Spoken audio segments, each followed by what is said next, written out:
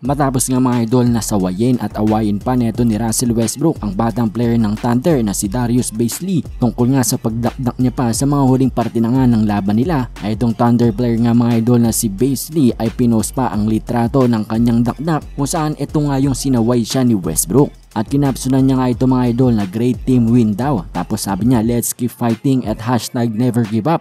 At obviously mga idol, makikita nga to ng mga ilang fan at ni-repost nga nila ito sa iba't ibang mga social media sites at sinabing what a disrespect nga daw ang ginawa neto ni Darius Bazley.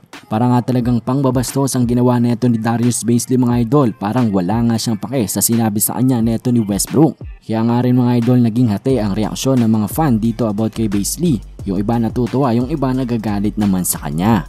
Pero anyways mga idol, para nga sa ating pang susunod ng balita, tungkol nga ito sa laban ng Lakers bukas at sa kanilang injury report. Sabi nga kasi itong si Trevor Ariza, si Horton Tucker, si Kendrick Nunn ay wala, pati na rin si Ellington, si Seco Dembuya, si Lebron James, si Rajon Rondo, at pati na nga rin si Anthony Davis ay baka hindi maglaro sa laban ng Lakers bukas. Total of 9 players nga yan mga idol ang hindi siguradong maglalaro para sa Lakers bukas against sa team ng Cleveland Cavaliers.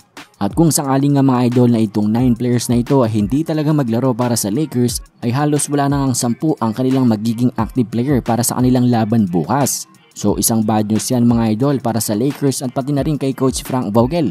Pero good news naman yan sa mga bench player nila dahil mabibigyan nga sila ng mga minuto. Pero mga idol, abangan nga natin yan dahil hindi pa rin naman sigurado kung sure na sila na out for the game at abangan na nga lang natin ang update ng Lakers bukas. So yan nga muna mga idol para sa ating mabilisang balitang NBA ngayon. Maraming salamat sa inyong panonood. Bye!